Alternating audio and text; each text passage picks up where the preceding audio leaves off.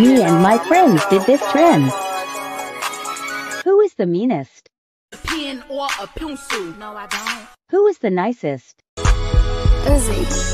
Uzi. Who is the most straight up? I like a bitch mixed with it all. Love a clean Who has the hottest voice?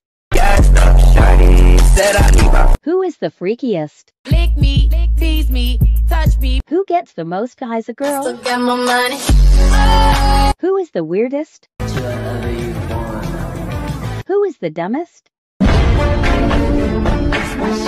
Who is the therapist of the group?